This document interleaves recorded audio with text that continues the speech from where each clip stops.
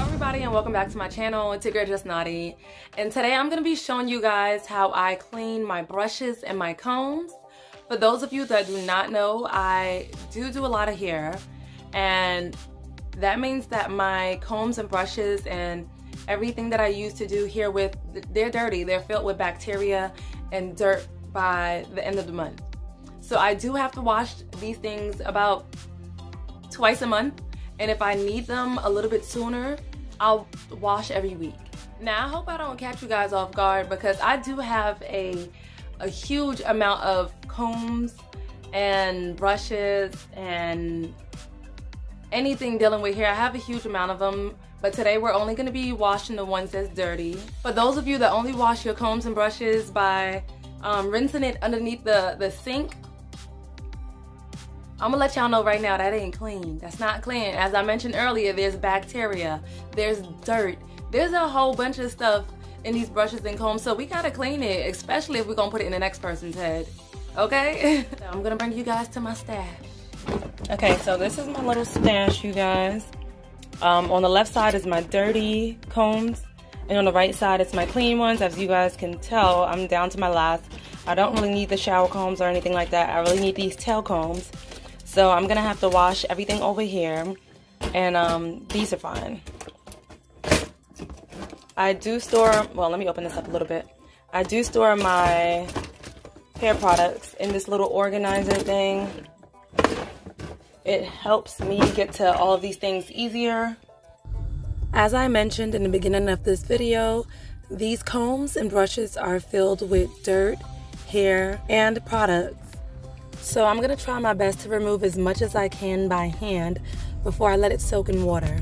When it comes to the brushes, if you wanna remove all the gunk that's on it, it's always best to grab a rat tail comb and slide it through the holes of the, well, the bristles of the brushes. I like to go in from left to right, right to left, and then from bottom to top, top to bottom. So I make sure I hit all the sides.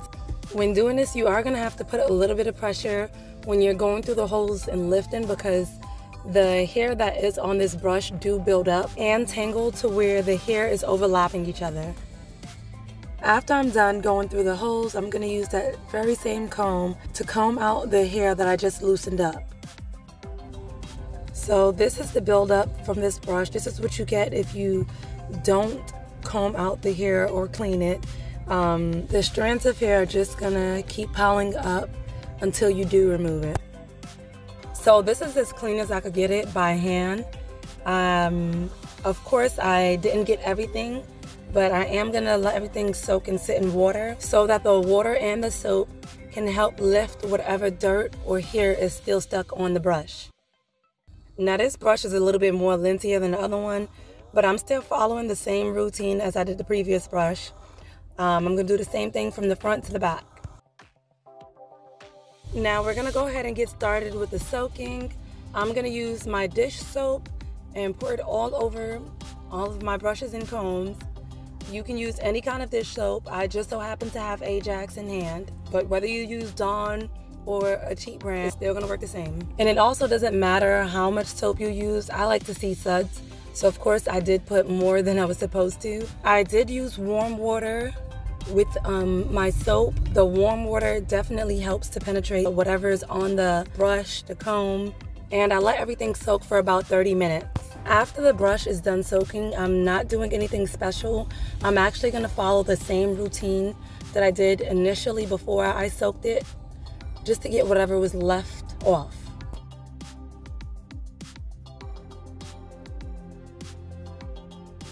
Now that I'm done with the bristles, I'm gonna go ahead and show the handle and the rim some love.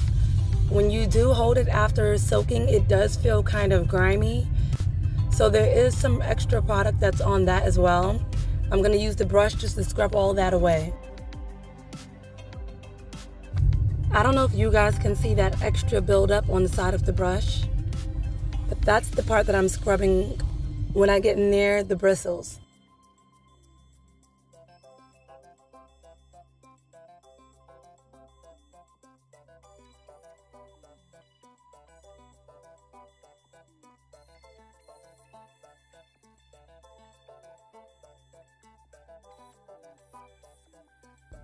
It is very important that you make sure that your stylist is putting a clean comb or brush to your scalp because you do not want whatever was left over from the previous person on your scalp. All of that can create scalp fungus, scalp irritation, and a whole bunch of other problems that you guys do not want. Picture all of this gunk on your scalp just sitting there until wash day. And if you're not sure if they're using anything clean, then bring your own. It doesn't hurt to bring your own comb, it doesn't hurt to bring your own brush or product because you do not know what they're using on your head. The same thing that I did with the previous brush is the same thing that I'm gonna do with this brush. I'm gonna go through each sides and then I'm gonna comb off the loose hair and give it a good rinse.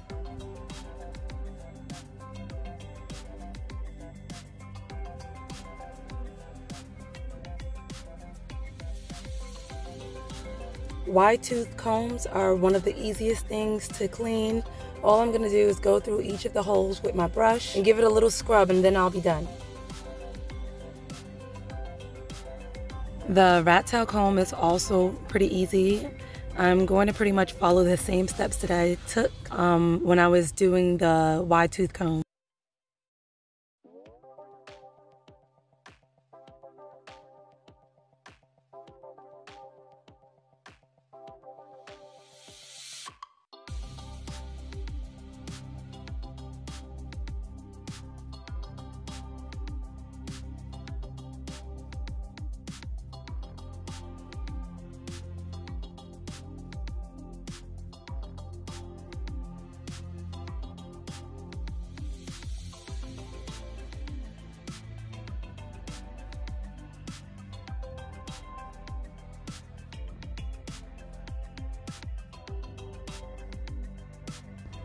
Now, I know a lot of us like to do our edges, and I'm not really sure if any of you have ever cleaned your edge brush before or not, but these edge brushes, they get caked up with whatever product that we're using.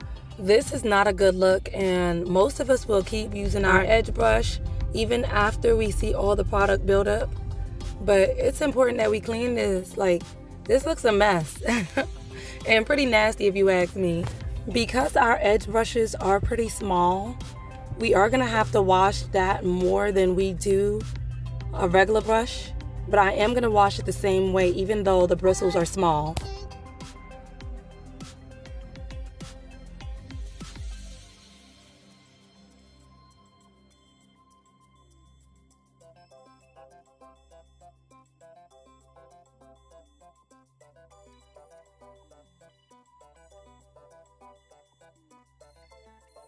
Now that I'm done washing all of my brushes and combs, I'm gonna go ahead and put them back inside the water to give them a final rinse.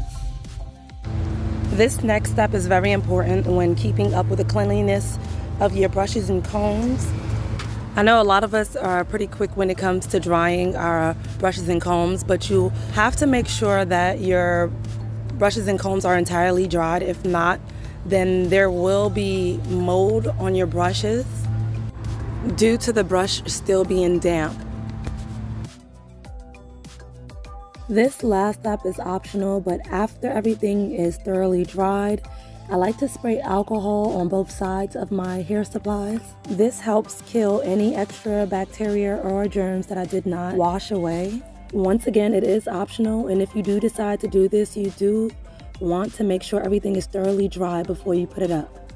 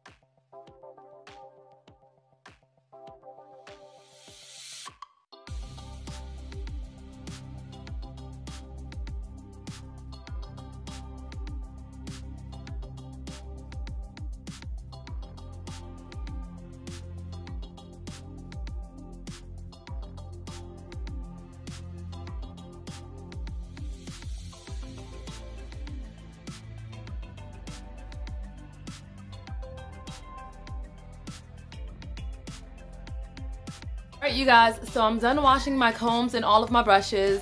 Um, normally this is what I go through every time that I have to wash those. And you guys, those aren't the only things that I have to wash. Like I also have to wash the the, the, the Gorilla Clips. The Gorilla Clips?